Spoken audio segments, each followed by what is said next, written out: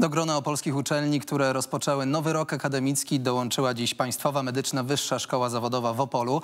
Jaki będzie dla niej ten rok? O tym między innymi w dzisiejszej rozmowie dnia. Paweł Pyclik, witam Państwa, witam również mojego i Państwa gościa, a dziś jest nim pan doktor Tomasz Halski, rektor Państwowej Medycznej Wyższej Szkoły Zawodowej w Opolu. Dobry wieczór, panie rektorze. Witam pana, witam państwa. Panie rektorze, dzisiaj w swoim przemówieniu inaugurującym e, ten nowy rok akademicki stwierdził pan e, coś, co zaraz chcę przytoczyć. W dzisiejszych czasach mówi się sporo o innowacyjności, a pan powiedział, nie uczymy innowacyjności, tylko myślenia. Powiedziałem tak, ponieważ w zawodach medycznych oczywiście innowacyjność jako proces tworzenia nowych metod leczniczych, nowych urządzeń oczywiście ma miejsce i to jest bardzo potrzebne. Natomiast w, klasycznym, w klasycznej terapii wszystkim trzeba myśleć, żeby podać właściwy lek, żeby zrozumieć o co pacjentowi też chodzi, bo w dzisiejszym wykładzie pani profesor Kurpas właśnie była o tym mowa, żeby lekarz, terapeuta czy pielęgniarka w dobrym kontakcie z pacjentem była też w stanie wyczuć potrzeby, tak na prawdziwe potrzeby pacjenta i, i z nim dobrze się komunikować, ażeby te potrzeby zaspokoić. Czyli trzeba myśleć. To na pewno dlatego też pan powiedział, że to nie są zwykłe studia i że uczycie nieszablonowo. W związku z tym musicie uczyć nieszablonowo? Dokładnie, ponieważ nieszablonowy jest pacjent. Nie da się przewidzieć jego reakcji zarówno w, w, w chorobie, jak też w reakcji na nas, na daną osobę. Często to widać na, e, na praktykach, kiedy wręcz pacjenci wybierają sobie e, swoich ulubionych praktykantów. Z jednym mu się świetnie e, współpracuje, a z drugim nie. To mam rozumieć to tak, że państwo jakby uczycie studenta, jak zrozumieć pacjenta, jak wyobrazić sobie, jak wczuć się w jego chorobę, w to, co czuje? Czyli Dokładnie. też taki trochę psychologiczny aspekt. Dokładnie, dlatego też zauważy, zauważyłem w tym przemówieniu dzisiejszym, zwróciłem uwagę na to, że oni są trochę i pedagogami, i psychologami. Z jednej strony e, mówimy o tym, że e, uczniowie powinni się, czy studenci powinni się wczuć, e, powinni się wykształcić. Pytanie, czy Państwowa Medyczna Wyższa Szkoła Zawodowa takie wykształcenie im gwarantuje i czy ta jakość kształcenia jest u Państwa taka, że da się spełnić te wszystkie wymagania, o których Pan przed chwilą powiedział? No, dwunastoletnia praktyka wskazuje na to, że, że tak, bo właś- właściwie wszyscy nasi absolwenci mają, mają zatrudnienie zarówno w kraju, jak i niestety za granicami.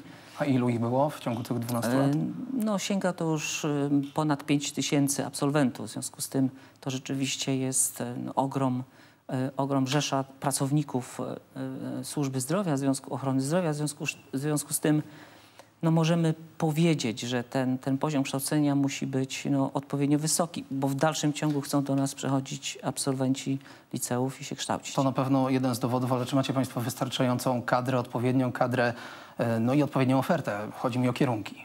Oczywiście no, ta oferta zawsze mogłaby być szersza i, i o to będziemy też dbać i walczyć.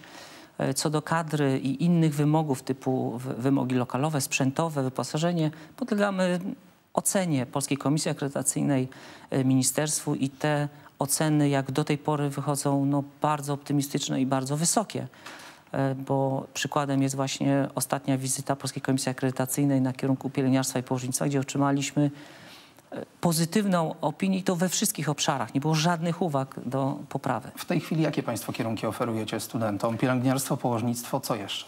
Fizjoterapię i kosmetologię. To są wszystkie kierunki na poziomie licencjackim, natomiast e, dwa kierunki fizjoterapia i pielęgniarstwo na poziomie magisterskim. Czy Państwo staracie się o to, żeby no, wszystkie kierunki mm, dawały studentom możliwość e, zrobienia właśnie e, studiów magisterskich? Oczywiście, no właśnie złożony jest wniosek na kierunek położnictwo. Wydaje nam się, że jest bardzo dobrze zrobiony. Wiemy już, jak te wnioski przygotowywać. Natomiast aktualnie i liczymy na to, że do końca roku będzie przygotowany wniosek na kosmetologię, czyli może się zdarzyć e, tak zwany cud, ale wypracowany ciężką e, pracą, e, że na rok akademicki 1 października 2016 roku będziemy mieli wszystkie cztery kierunki magisterskie. A nie chcielibyście Państwo też kształcić przyszłych doktorów?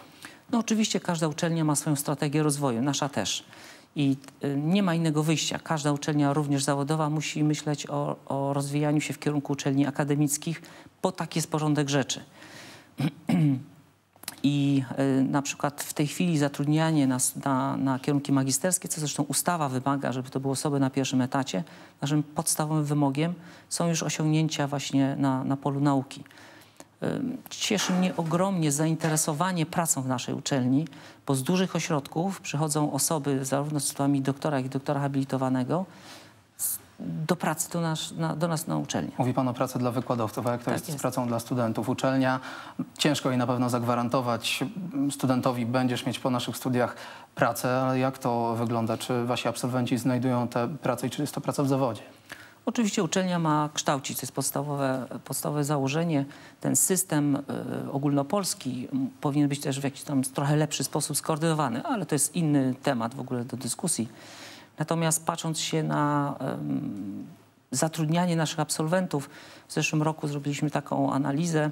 Biuro Karie naszej uczelni sprawdziło w, w powiatowych urzędach pracy, e, ilu jest bezrobotnych, zarejestrowanych bezrobotnych absolwentów naszej uczelni. Mówimy o wszystkich latach i było to w granicach, jeśli dobrze pamiętam, 60-70 osób. A czy młodzi ludzie chcą dziś wybierać takie kierunki jak pielęgniarstwo, położnictwo?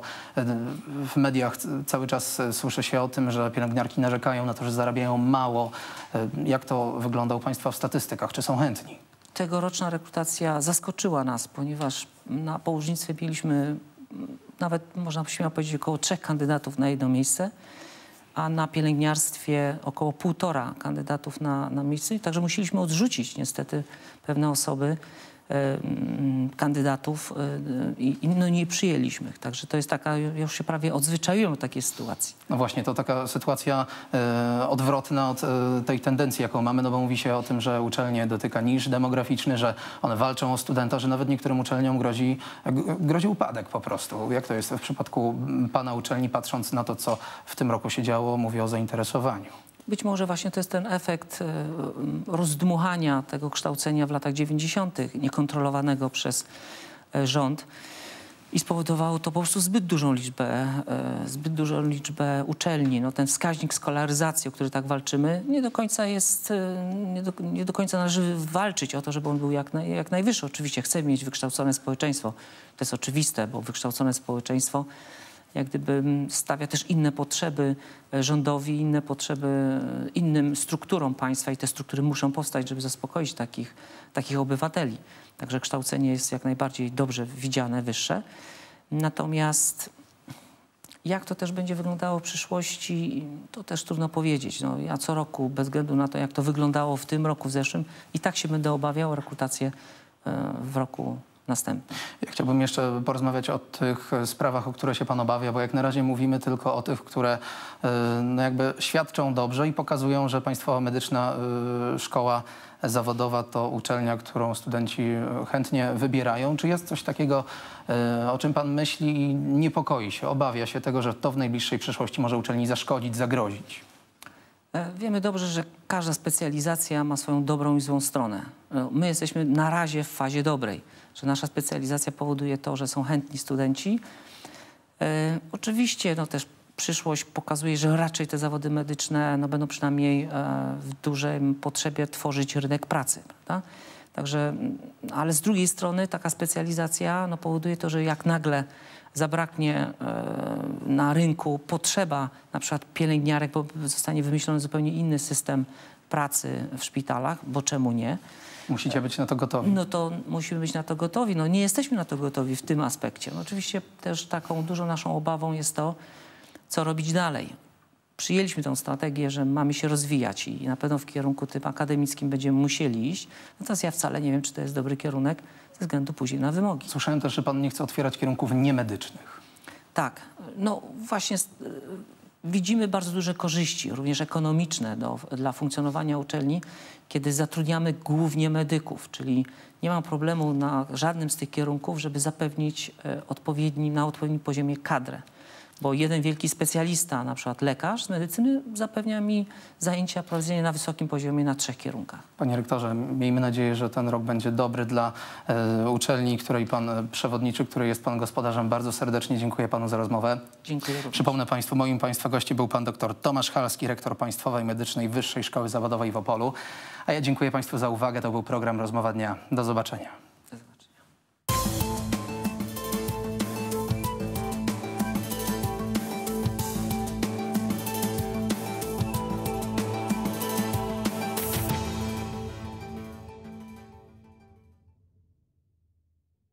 Ten program został sfinansowany z Twojego abonamentu.